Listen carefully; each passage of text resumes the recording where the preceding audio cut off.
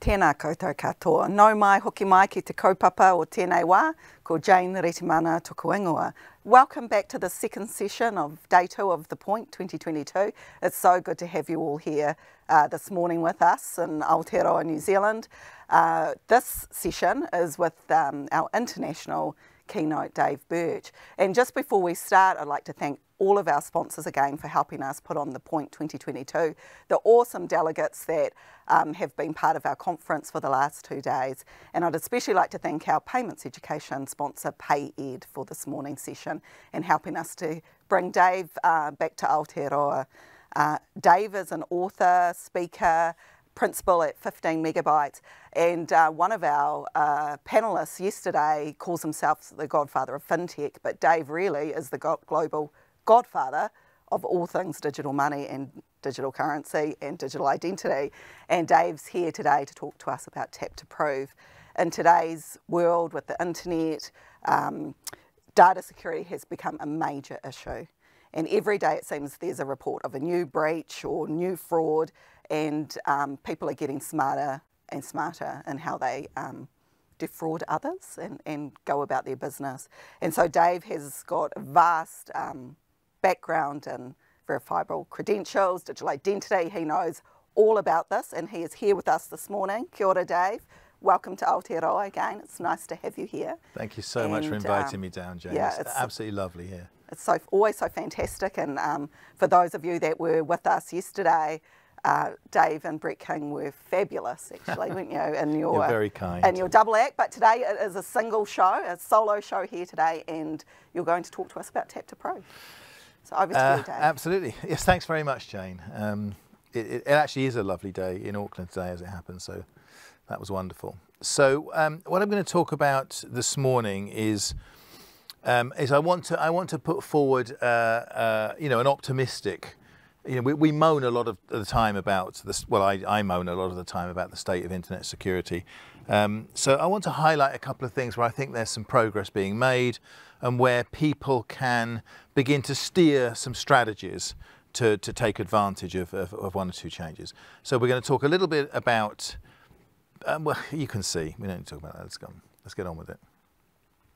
So, so my starting point is I've got a bit bored with people saying, um, that uh, digital identity, you know, people, they don't think it's a solution looking for a problem, you know. But, but actually the thing with digital identity is it's a solution to, to, to millions of problems.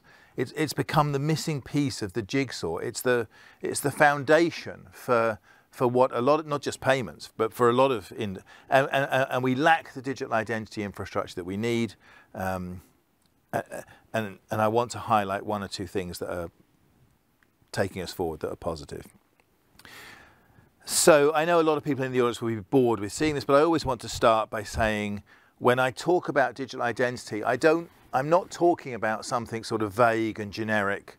I don't, I don't, when I say digital identity, I mean something very specific, which is this bridge between the, between the real and the virtual.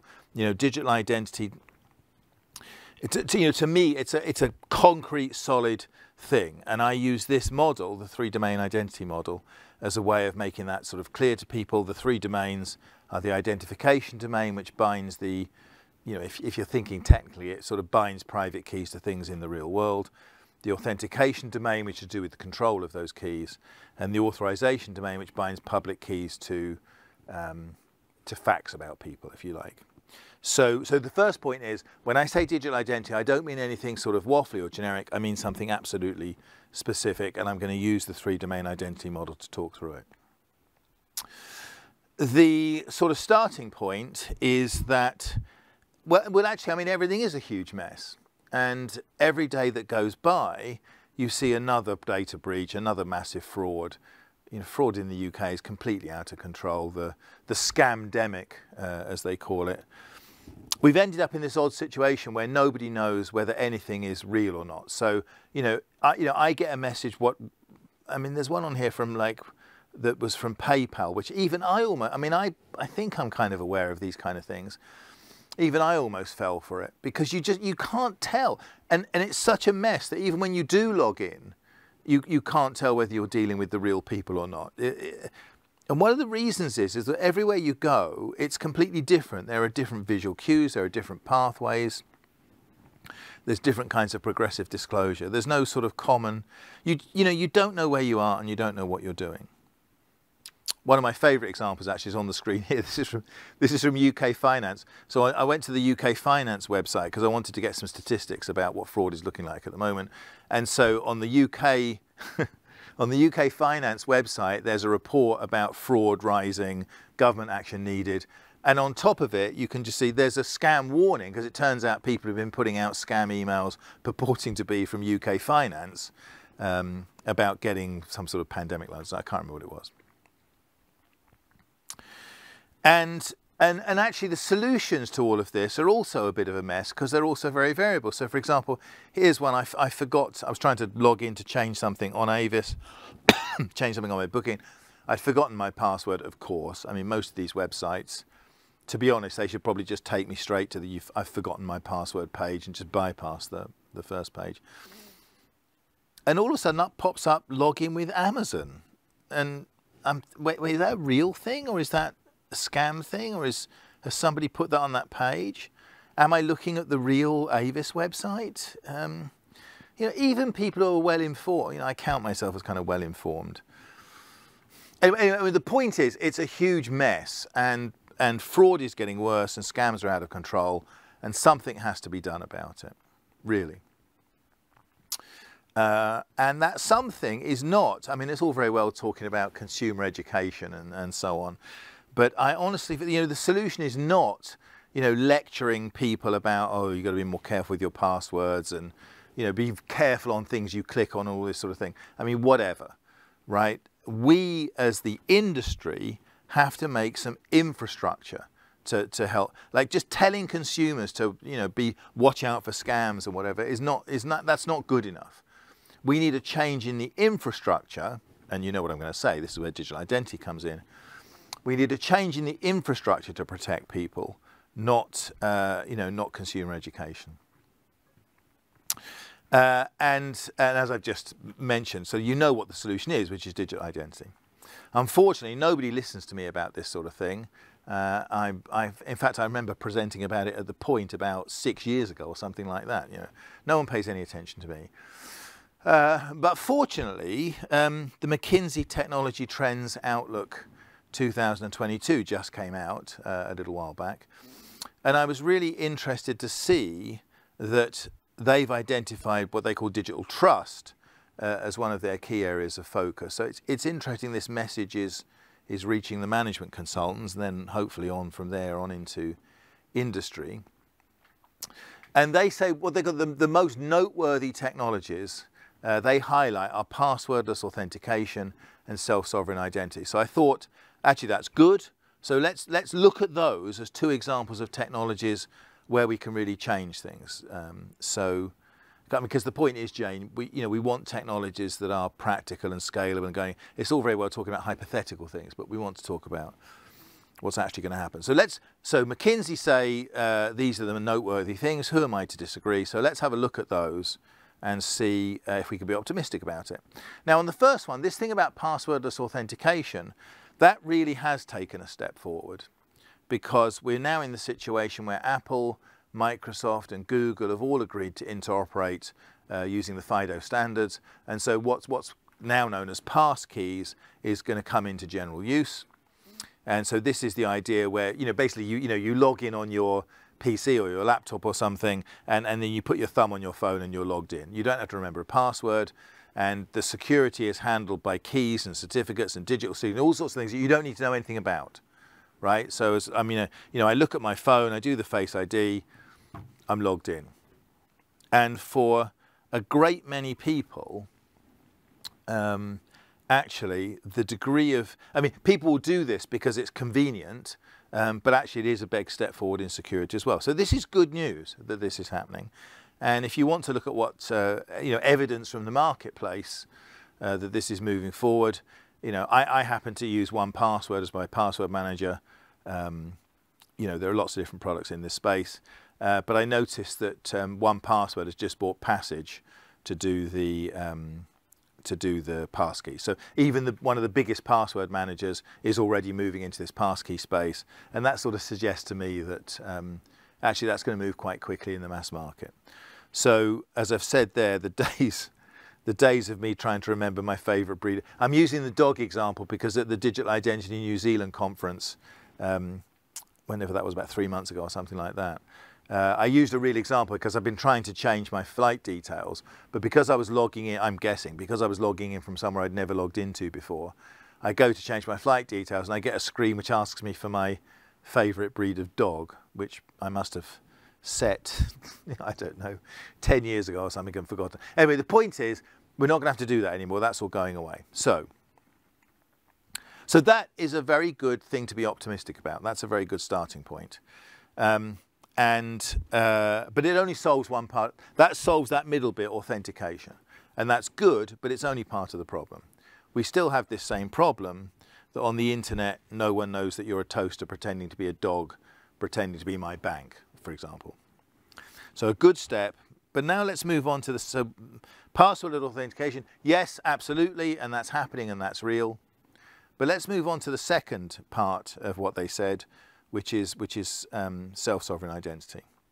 Now, this is where things get a bit more complicated because self-sovereign identity, the, the interesting part of that, if you think about that three-domain identity diagram, the identification bit is not the interesting part. The interesting part here is the right-hand side, the authorization part. And that's about not who you are, but what you are. It's about not identifying, but authorizing.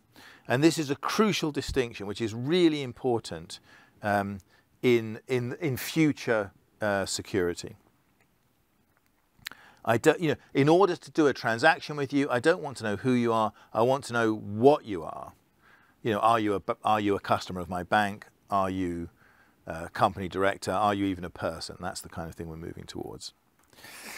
Now, um, on the issue, so so McKinsey, you know, they have self-sovereign identity, and but really self-sovereign identity is actually really two things. It's it's the um, identifiers, or you know, decentralized or distributed identifiers of some kind. It's the identifiers and it's the credentials. It's the facts about um, the owners of those identifiers that are attested to. So I want to take those two things apart. And I'm not really going to talk about the identification side of things much. In many ways, the sort of, because I mean, we've already seen through the pandemic the acceleration in digital onboarding. Um, you know, there are lots of companies that are very good at this now, so you can scan your password and, and uh, uh, scan your passport and they can tell whether it's a fake and all this sort of thing. Um, and that sort of stuff is quite good. So I don't want to spend any time really talking about that. And also, the reason I also don't want to spend much time talking about that is because the sort of fundamental idea of self-sovereign identity, which is you put people in charge of their identities, I think is a really bad idea for the same reason putting people in charge of sorting out their passwords is a really bad idea. I mean, it sounds good. So he said, well, you know, we'll, we'll, we'll, we'll, we'll self-sovereign and we'll put people in charge of their identities. But if you put people in charge of their identities, they'll give them away to Facebook to take part in a stupid quiz or because somebody gave them a Snickers bar in the street or something. Like putting people in charge of their identities is not a good idea. It's, In fact, it's a very bad idea because most people, and I include myself in this, are really not responsible enough or organised enough or you know to, to actually man. I mean, I lose my car keys three times every. Like putting me in charge of mine, no, thank you. So this is why this is why I label custodial SSID. So in other words, using the technology of self-sovereign identity, but without me having to look after the keys. The keys are safely locked up. You know, I, I would imagine in my bank would be a good first choice for this sort of thing. So that's why I say custodial SSID rather than SSID. But actually, I don't want to spend much time talking about that. What I want to talk about more is the credential side of things. Now, um, there are some credentials, uh, i.e. facts about me that are attested to by trusted third parties, which are really, really valuable. And um, I think what's been going on with Twitter and Elon Musk's purchase of Twitter sort of, you know, proves this proves this point really. So you know, so he said one of the reasons why Twitter was problematic was because there were so many bots on the system. Like you couldn't even tell if something is a person or not. And, um, you know, in many ways, that could be the most valuable credential of the sort of future internet age is just knowing whether you're interacting with a person or not. So that very basic credential of this is a real person is fundamentally very important. Now, there are, obviously there are, there are many different ways of doing this kind of thing. Um, I would have thought, actually, what with all this talk about open banking, open banking is a good example of where you could use the bank account, the bank KYC, and leverage it in very easy ways. So in other words, if Twitter want to know if I'm a real person, one of the easiest ways to do that is to bounce me to my bank, you know, through open banking and get me to log in. And then the bank can send back some, you know, some cryptographic token which would function as that credential. Like so so in other words, Twitter wouldn't have to work out whether I'm a real person or not because the bank's already worked out whether I'm a real person or not. So since the bank knows whether I'm a real person or not, why not use the bank credential? Like in any case, it's none of Twitter's business who I am really, but um, uh, although I, and actually there's another reason for doing that, which I did notice this morning. The New York Times is saying that Twitter has filed to move into the payments business now with Mr. Musk in charge. And so the link between Twitter and open banking is really interesting in that space as well. Uh, but anyway, the point is, even a simple credential like that, that this is a real person, could be incredibly valuable, incredibly valuable in the online space. And that's just the most basic one. But it has to work in the real world, not in the sort of uh, in the sort of academic sense of it. So suppose I've now got a private key and suppose now the fact that I'm a real person is bound to that public key. In other words, there's a, there's a credential which could be stored on my phone or could be off in the cloud somewhere or wherever. So when I need to prove that I'm a person, you know what happens. You know, I present that credential. The credential's got a public key in it. Whoever I'm presenting it to creates a, cryptogra a cryptographic challenge by encrypting using that public key. The only person that can answer that challenge is the person that controls the corresponding private key, i.e. me. I respond to it. And so now they know that I am the real owner of that credential. I am a real person. And all of this happens under the hood, of course. I mean, you, would never, customers don't need to know anything about keys and credentials and so on. We'll come back to that a bit later on. But the point is we know how all this stuff works. But to work and scale in the mass market, it's got to work properly. And so the first you know, the first and most obvious sort of question about this sort of thing, well, okay, that sounds great. What happens if I drop my phone down the toilet? So this is exactly why I don't want to be responsible for looking after the private keys. Because if I drop my phone down the toilet, what I want to do is go and get a new phone, and then I want to get the keys reloaded by the bank uh, into my phone. And since banks know how to securely transport private keys and install them in secure hardware, etc., etc., I mean, I, I, I, hope I'm, I hope I'm telling people stuff they already know here because this, this should be well known to everybody that banks know how to do this sort of stuff. So let's, let's suppose we can move that a little bit forward then. So, so let's suppose now, you know, I've got my phone, my phone is storing some credentials about me, you know, I am a real person, I'm over 18 or whatever. And we have something that works technically um, with these keys and certificates that I was just talking about. I've, I've started to, you know, that, that, that only gets us so far in the real world. The fact we have something that works technically, which is going to be infrastructure, so we don't need to explain to consumers how it works, it's just there for them to work. Yeah, how does that work in practice?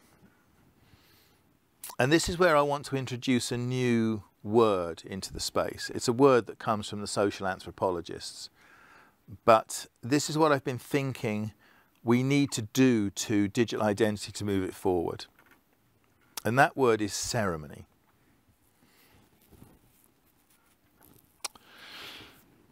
So ceremony means in, in, this, in this context, ceremony means that the participants are following a sort of ritual. They know the steps, they know what to do without thinking about it.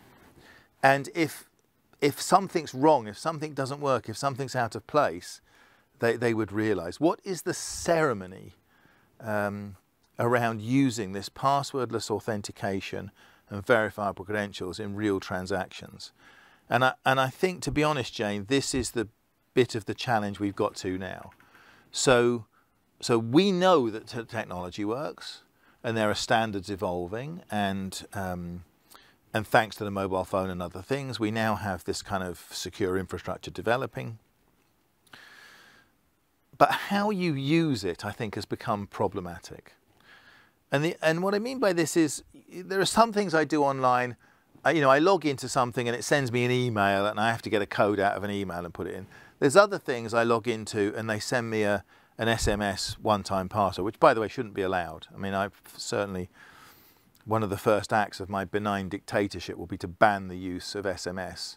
For the, the idea that it's any form of security at all is, is, is ridiculous. I get spoofed SMS messages every single day. Hello, this is the government.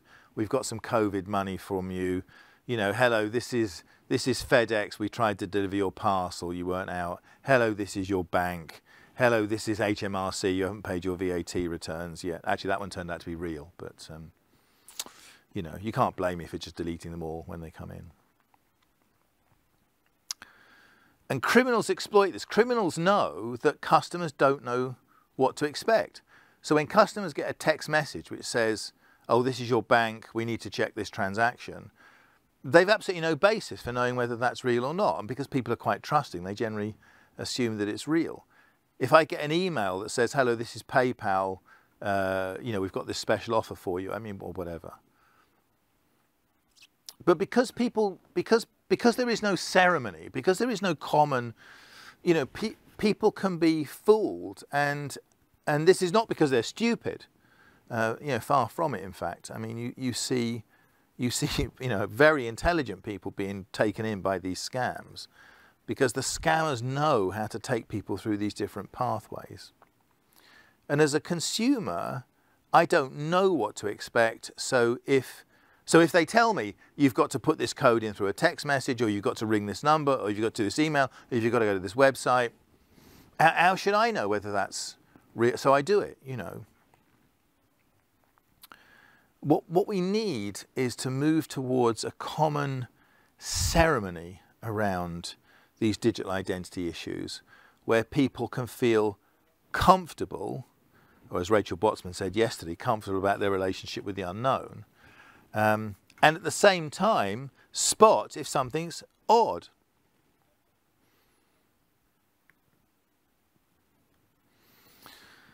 So how can we create that kind of consistent interaction, ceremony, if you like, which will be, uh, which will give that confidence, will work at scale, and will be practical to implement using the two technologies we've just been talking about. So, uh, so you know, and I've got an example here, which is a thing that I almost fell for from from PayPal. It's not from PayPal, of course, but it looked plausible. So. So let, let's let's let's pick uh, let's pick a practical and real example to show you what I mean. So, um, and this is a true story. So, uh, an acquaintance of mine went on holiday to uh, an African country uh, with her with her boyfriend actually, and they're they're very keen on scuba diving. So they went somewhere where you could go scuba diving. I won't I won't name the country and uh, and uh, the, like the day after they got there, they both were afflicted with with terror. I mean, I hate to bring this up so early in the morning, but terrible stomach issues of a kind which are not unknown to travellers in um, in some countries. And uh, and this was so bad they actually couldn't leave their hotel room. They were stuck in their hotel room. They couldn't leave the room. And this went on for another day. And so they called down to the desk, you know, to get some medical help and um, and basically, and you know, and the the cure for this sort of thing, well, it's not really a cure. I mean, basically, what they do is they come and put in an intravenous uh, line, and I think it's just basically salt and sugar, isn't it, and water they put in just to stop you from dehydrating. So anyway, so I had these put in uh, for a day, and then after another day, they actually felt better, and they finally got to go scuba diving for the last couple of days of their holiday. And when they came back to the UK, they filled out their insurance forms to claim for the medical expenses. And the insurance company refused the claim on the basis that the person who'd been treating them wasn't a doctor. It was just a mate of some guy who worked for the hotel, you know. I mean, he'd done a great job. I mean, they got better, but he wasn't a doctor. And and and so maybe people are like, well, how would you know whether someone's a doctor? I mean, this is a good example. Like if someone comes up, if someone says they're a policeman at your door, um, you know, there's a bit problems in the UK recently around some some terrible issues around this sort of thing. How do you know whether someone's really a policeman? They're talking in London about putting QR codes on the police warrant cards so you can scan the QR code. But I mean, I mean, first of all, QR codes can be copied by anybody. Um, but also, you know, the police lose God knows how many thousands of warrant cards every year anyway, so that's not in itself so how do you know it's a doc? Or in, and I, I chose this example from, from Helen's cartoon here because I'm, I'm English. So my terrible fear is not about unlicensed doctors, but about unlicensed dentists. Uh, it's, a, it's a weirdly English thing. But every time I read a story in the newspaper about an Eastern European plumber who comes over and sets himself up as a dentist and starts drilling holes in people, it's, oh, I can't even bear thinking about that sort of thing. But, and by the way, I'm not making that up. That actually happens all the time, right? not just dentists. There was a thing in the papers in, in the UK a couple of months back about a guy who'd been flying planes for British Airways and uh, EasyJet, I think, and it turned out he wasn't a properly qualified pilot. So, I mean, I think the dentist, but you get my general point. The point is, this isn't just about me logging into banks. There's a much bigger picture here. This much more generalized issue of how you prove and get how, how, how you can prove things about yourself, but how other people can prove things about themselves to you. So we need a symmetrical infrastructure that would deal with both of those issues. It's one thing for me to go to the dentist and the dentist to, to you know, I touch something on my phone, I, it's Dave Birch and this is my date of birth and whatever. Um, but at the same time, I want to know it's a real dentist. How do I do that? We need a symmetrical infrastructure that, that takes care of this sort of thing. But it's got to be done at that kind of level where, where consumers and actually dentists don't need to know about how any of this works under the hood. So if you think about what would happen in a practical example like that, um, I've got an appointment with the dentist. I've got a smart wallet on my phone, right, which is storing my credentials and money and tokens and identity and all sorts of other things. So I go to the, so my, so I've got an appointment with the dentist, I go to the dentist, so my phone is looking for a credential that says, you know, uh, is a UK registered authorized dentist. So my so I let's let's imagine we're doing this with phones. So I go and check in at the dentist uh, surgery, and let's say the the receptionist holds her phone against my phone. For example, let's, let's do it using NFC rather than QR codes. So, so think about what's really got to happen to make that all work under the hood. So my phone has to say, I'm looking for this credential, is a registered dentist, okay? And then the dentist phone has got to say, actually, I have two credentials like that. One that comes from, I don't know, the local authority and one that comes from the medical authorities or something. And then my phone would say, oh, I haven't got the key for the medical authorities, so I can't check that. But I've got the key for the local authority. So, okay, can you send me the local authority credential? And then, um, and then the, they send that credential over. And then I, and then, but yeah, but is it really you? You know, so I take the public key out and I do the challenge and I send that back to you. And then the woman at the dentist, let's say, puts her thumb on it. Um, and, uh, and yes, that's, that's really them. So she really is, she really is my dentist. Um, and then, you know, and it's also asking, am I really Dave Birch? So I put my thumb on it. And there's a lot been going on there that uses really solid cryptography to make sure this is all correct. But to the two participants in the ceremony, like think about what happens in, in ceremonial terms, right? We walk in, we touch the phones together, we put our thumbs or our faces or whatever, and either on my phone, I either get a picture of my dentist, if she is indeed a real dentist, or I get a big red cross. That's the end of the story. Like there's no more, like at the user interface. I mean, either I see her picture or I see a red cross. That's it. Can't be anything more complicated than that. Otherwise, it won't scale into the mass market. So we have to try to find a way to take the technologies that McKinsey was talking about there, which they're correct to talk about, and fit those into a ceremony that makes sense to the users, while we as technologists make sure that the infrastructure, the seatbelts, if you like, are, are all correct. Now that's that's a lot to ask for in one go, but the reason why I said this is going to be an optimistic presentation is because I think we can see the steps in the right direction with, with this shift towards passwordless authentication, the standardization of verifiable credentials and mobile driving licenses and things like that. We, we can begin to think as an industry, um, and obviously, I mean, obviously I think that Payments NZ would be an obvious coordinator for this kind of thinking. We can begin to think what that ceremony should look like. Um, and of course, the people that we should be asking to help us to guide us through that are, you know, social anthropologists and, and, and other, like not technologists. Like we, we can, whatever ceremony they want, we can do it. We have all of the technologies that we need, but, but we need to coordinate with a broader range of people to make that work. So can we make that work practically? Well, the answer is yes, we can. And here it is working actually 10 years ago. So Jerry Fishenden, who a very smart guy, used to be in Microsoft. Jerry and I were on the Home Office Advisory Group together for a while to do with ID cards and things like that. He's a very thoughtful guy. Jerry said, um, look, in the pandemic, we educated customers on tap to pay can't we educate them on tap to prove? And I thought that was such an interest. Yeah, tap to prove.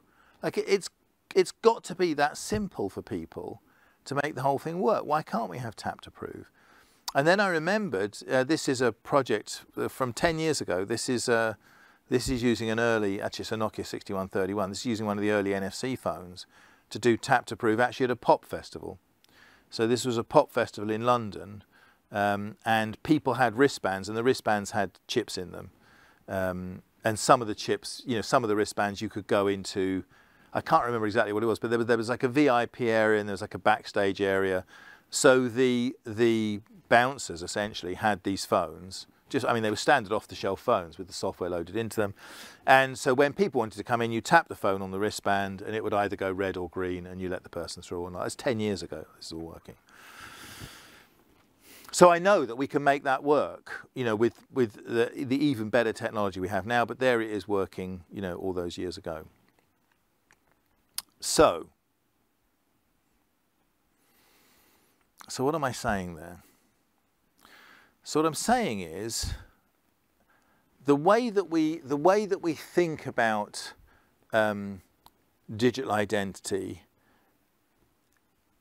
is, is slightly, so, so we think about digital identity in the sense that we take our driving license and we make a digital version of it and we do the exact same things with that that we did with our actual driving license. And that's not really the right way of thinking. Um, I think this point about symmetry is really important, Jane. Like one of, you know, it isn't just about me proving that I'm me to the bank. It's about the bank proving that they're the bank to me.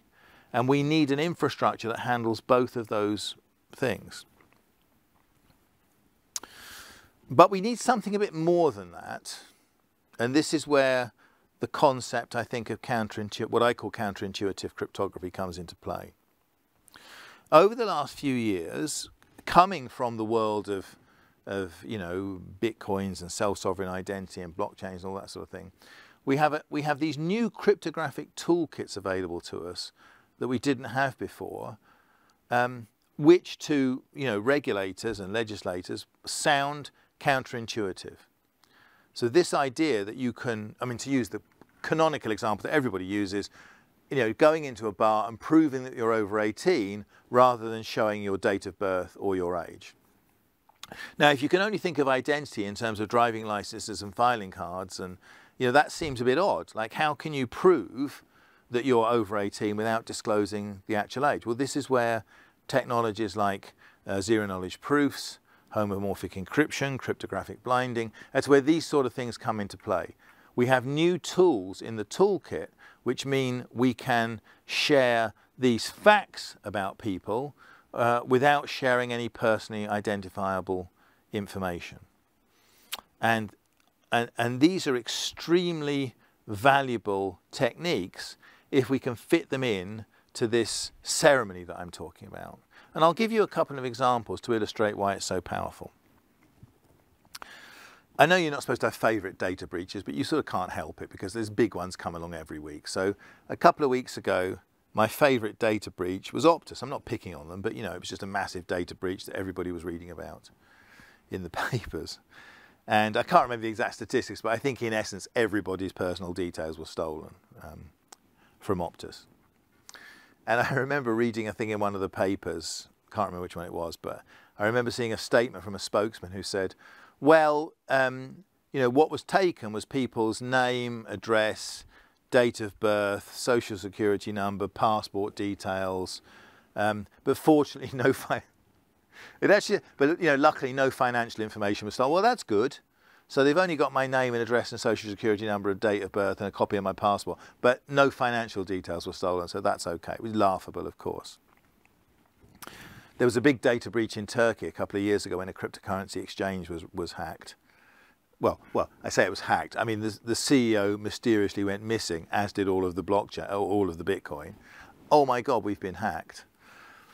But what was stolen wasn't just uh, it wasn't just some bitcoins.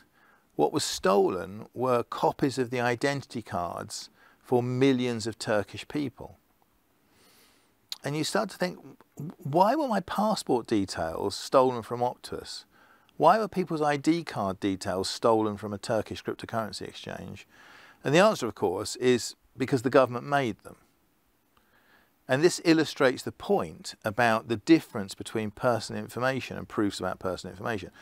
If you want to know that I'm Australian, for example, there's no reason on earth why the passport agency can't provide a cryptographic proof that I'm Australian without disclosing my passport number or details or any of that sort of stuff. If you want to know that I have an account with Barclays Bank, Barclays Bank is perfectly capable of providing a cryptographic token that proves that I'm with Barclays Bank, doesn't contain any personally identifiable information whatsoever. Like all, there's no reason to store all this data about people because actually what you need is the like you don't need to store my date of birth. You just need to store the token that proves I'm over 18. And that means if you get hacked, which is all the time apparently, um, none of my personal data goes missing. Only those tokens get stored, and those tokens are useless to people because I have the corresponding private key and nobody else does. So we're in a situation where, uh, where things are absolutely out of control, worse than they ever were. But there are a couple of classes of technology which are making a difference right now and, and, and can do some amazing things which, which you couldn't do with the old kind of technologies that we had before. But my view is that we need to sort of shift the focus slightly and start looking at the ceremony of using those new technologies. So how can we get them in practice? And those ceremonies need to be consistent across channels. So in other words, if I walk into the bar, I tap my phone on something, under the hood, my phone is, is this person entitled to ask how old I am? Are they a registered bar? Blah, blah, blah. And the bar is like, is this person over 18? Have they been barred from this place before? Etc., etc., etc. None of this is visible to me or to the barman. I just tap it, I put my thumb on it. Either he sees my face or he sees a red cross. But the same thing should be true online. If I, if I log into you know, somewhere to buy some booze and I've got to prove that I'm over 18, it should be the same experience. I log into the website, something pops up on my phone, I put my thumb on it, it's either my face or a big red cross. So the ceremony should be consistent across those interfaces because otherwise fraudsters will step in and exploit the gaps. Now, because of the technology we have available to us now to support this, by which I of course mean things like verifiable credentials, we can actually have quite sophisticated interactions taking place in those areas. So if you think about some of the, like, um, you know, if you're applying for a job and you want to display educational credentials, or something like that, and we're a long way from that point at the moment. But, uh, but if you think of the sophistication of some of those interactions, which have all got to be hidden from the public, you could have a situation where uh, you know a website or a service provider or a shop is asking for a certain set of credentials. I have lots of different credentials which would satisfy those, but they come from different issuers. uh, some of those issuers are trusted by the website, some aren't. There's a lot of backward and forward there to get to this set of credentials which are acceptable and can be checked uh, by the other side. But that's that's a matter of milliseconds between smartphones and uh, you know it's not a you know uh, we should want that degree of complexity because we want the granularity of the privacy that it delivers into the mass market. We shouldn't be afraid of that complexity under the hood especially as if in industry we've agreed on the ceremonial uh, level. I hate to keep going back to that word, but I can't think of a better word for it, Jane. It's like, but you know what I mean? Like, it has to be this common ceremony that everybody uh, takes part in.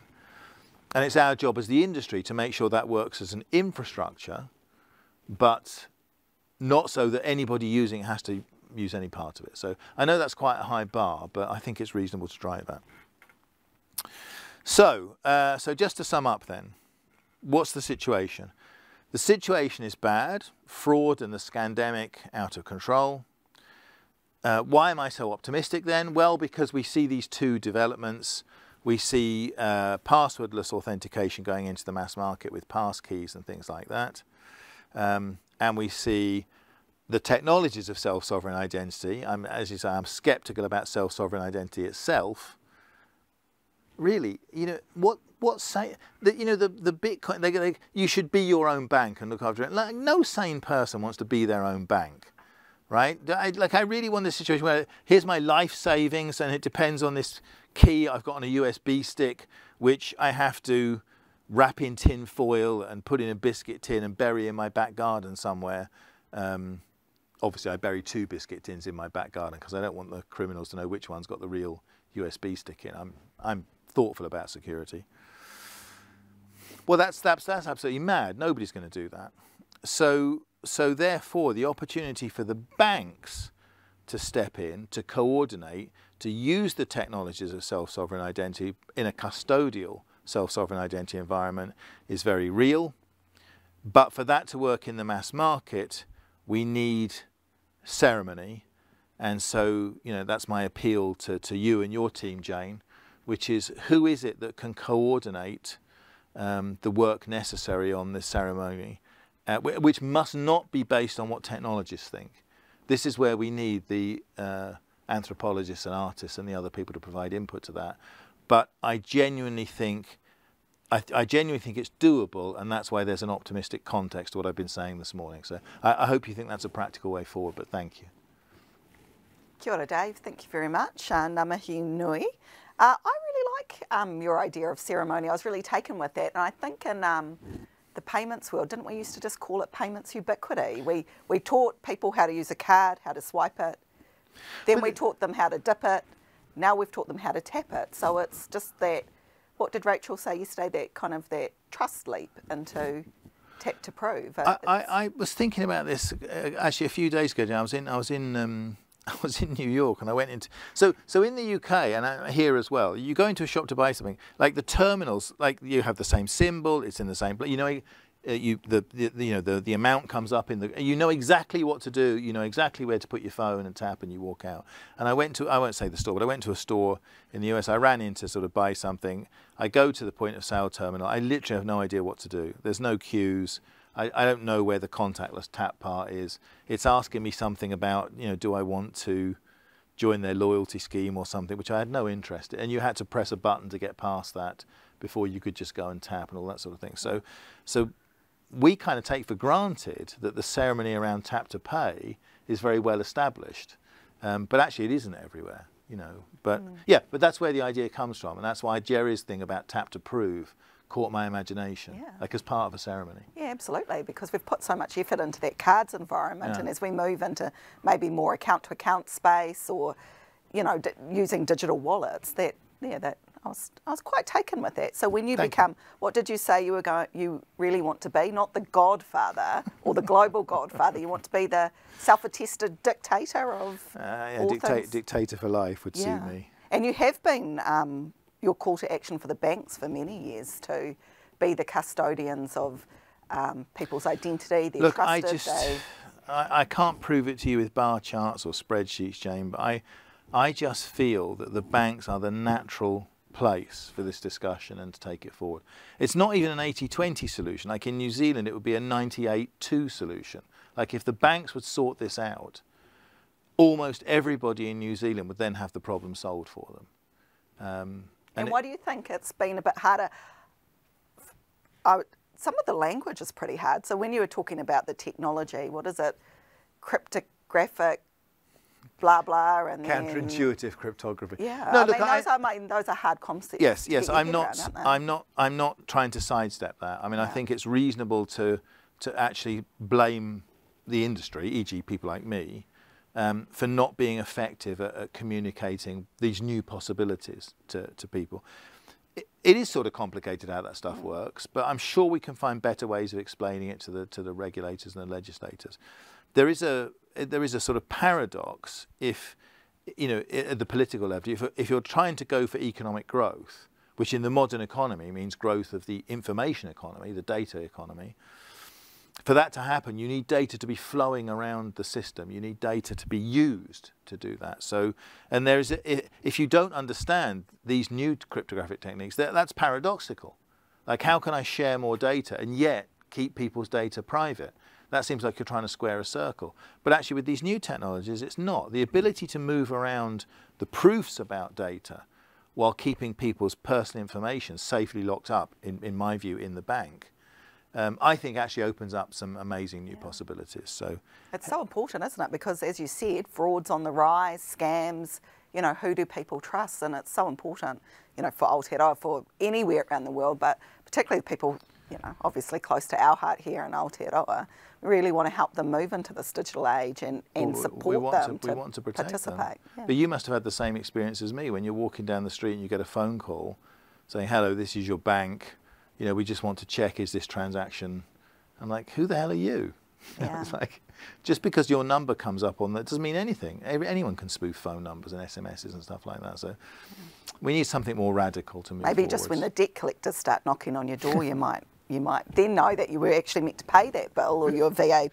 That's that's true. That was actually a real example. I did delete that because I thought it was a scam, and it turned out I was overdue paying my VAT. So, so um, I'm going to go there. What about um, Twitter has obviously had a ownership change recently. Yeah, it's and, an interesting example, and, and, isn't it? But you know, if Elon gets his way around the proof of personhood, you know, how would you see that interacting with or, or, payments industries or financial services around this digital well that's that's i think that's a funny example isn't it because you know sometimes um, you know things come out of sort of unexpected directions uh, you know, the, they have this, you know, IBM didn't invent the mini computer, DEC didn't invent the PC, Microsoft didn't invent Google, Google didn't invent Facebook, Facebook didn't invent Twitter, you know, it goes along like that. Yeah. Um, what if the solution comes from a very unexpected place? I mean, I know it sounds weird, but, um, but, but imagine Twitter does become you know, they've, they've done strong KYC. They don't at the moment, but you could imagine they do it through banks with open banking. So all of a sudden, uh, you know, your, your Twitter handle becomes something that's actually real and valuable, something that people can send money to and you can send money from. Well, then next time I go to log into, you know, I don't know, match.com or something, instead of them doing the KYC, why don't they just use the Twitter account as proof of personhood? And then suddenly, if people are using social media accounts as proof of personhood, those could expand in their functionality and the banks could be bypassed by that sort of thing. So uh, it's a funny example to talk about, but it's a serious point. You know, sometimes things just come out of a different direction. Yeah. What if it turns out that, I don't know, imagine there's a Disney app that you need to do age verification for, for watching content, and suddenly people start using that in other places. I mean, it's interesting to think about. So I, Twitter is a fabulous example for exploring this. Yeah, and um, I, you may have just answered this, but um, I've got a question come here, come through from our very own Russell Bryant at BNZ asking um, the minister announced this morning the consumer data right for open banking. And um, Russell asked the newly announced this morning Consumer Data Right Direction champions ease of bank movement. How might that align with digital custodianship through a bank? And you, I, I, mean, obviously you've touched on that. No, I no, so no, I, it's a it's a really important question, and and I don't mean that in a patronising sense. I mean that genuinely. So, and that's because if we live in a world where the transaction fees associated with payments are essentially going to zero, and we need strategic alternatives for value-added services around those kind of things. The um, custodianship of digital assets, if, you, if, if you're as skeptical as about self-custodianship as I am, um, custodianship of digital assets would be a serious bank business. Of course, I, you know, my favourite NFTs, as well as my pension plan and my tokens for lumps of gold or whatever, of course I would prefer to have those under bank custody than have the responsibility of looking at it for myself. So, quite so, I think that's a really serious business and yeah, I think for, for, for, for banks, it's a viable alternative to some of the transaction fees from payments, which they're going to lose anyway because of, you know, account to account payments and all these kind of things. Yeah. Okay, Dave. Um, just last question, if passkeys, as you're saying, are successful, what comes next? Um, I'm very, I'm very interested in the evolution of the sort of passive biometrics. So this idea that um, you know, so, so, so when I go to log into something, I've got the phone in my hand and I actually don't have to do anything or press, because actually the phone, it, this is how Dave holds the phone, this is how Dave presses the keys, this is in a place where Dave normally goes, this is doing something Dave normally does. You didn't even, like, don't bother with your, like, I know it's Dave, you know, and so, so this idea that you kind of, kind of ambient authentication, where, where the environment knows that it's you, not because of invasive retinal scanning biometrics and chips in my head and this sort of thing, but just because this is how I hold a phone, this is how I walk around, you know, sort of thing. I, am interested in that. It's, it's not quite ready for prime time yet, but it's getting close. Mm. So, so pretty soon, you know, you won't need to do the Face ID or anything because the phone will just know it's you. And yeah, that makes it even more seamless. Excellent, thank you. Well, um, I know you've been coming down here for a while, and I think you started with saying no one listens and no one pays attention, but there's mm. quite a few people um, online this morning listening and paying attention, and um, yeah, it's a it's a world of possibility. But obviously, with the point, our theme of reframing the future, we really do need to be you know, really having a really hard, strong look at all of this. As you were saying, fraud's on the rise. We have to protect customers. How do we do that? Um, Ceremony um, is how we do it. Yeah, absolutely. Absolutely. Um, kia ora koutou, ngā mihi nui, kia koe. Dave, thank you for being with us today. And um, safe travels back to the UK or wherever in the globe you're going to head off to after this. Thank you very much, Jane. It was a pleasure to be here. Kia ora. Okay, well, thank you, everyone. Thanks for um, spending some time with Dave and I this morning. We have our next session with um, Brett King, and Steve will be back to introduce him at 11 o'clock. I'd like to just put a final shout out to our um, education partner, Pay Ed, and to all of our sponsors um, for the Point 2022. And I will be back this afternoon talking about real-time payments. And uh, ka kite anō, see you soon.